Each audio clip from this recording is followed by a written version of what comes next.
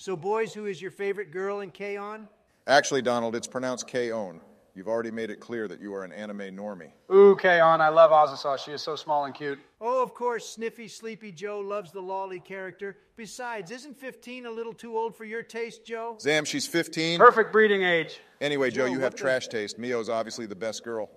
She's smart, plays sweet bass lines, and not gonna lie, she's kind of a mommy. You just like her because the bass is a black person instrument. Joe, I swear. Whoa, whoa, whoa. If we are talking mommies, then look no further than the actual best girl, Mugi. She's tall, blonde, and hot, just like my daughter.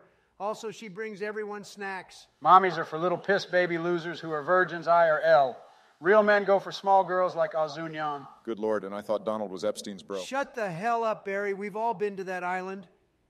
Anyways, Mugi is also rich like me. I guess it makes sense that you broke boys would like the poor girls who don't even know about air conditioning. Also, Ui. I mean, seriously, Mugi gets Yui her guitar. Yui is hot too. Without Mugi, there would literally be no K on. Hold on, Don. Look, Joe, we get it. You like the little tiny girls. Next, you'll say Jun is a little brat in need of correction. oh, Jun, I love her. Ritsu's brother can get it too. Uh, Joe, what? me. Um, um, uh, God, Joe.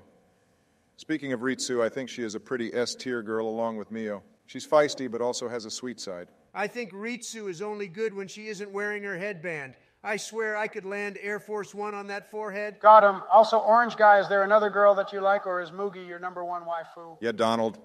I like Ritsu and Mio, and Joe likes anyone under 16 years old. Do you have any other best girls? I mean, Mugi is my number one princess, but you know, Sawa chan is pretty freaking hot. The perfect Dami mommy. You know, I take back what I said about mommies. I want Sawachan Milkies. Yeah, Ritsu and Mio are the best girls in terms of character, but goddamn, Sawa Chan has me acting up every time she's on screen. For real. Well, while we all have different opinions on best girl, we can all agree that Sawa Chan is sexy AF, and I think that's what America is all about. What, America is all about Sawa Chan's big fat mommy Milkies?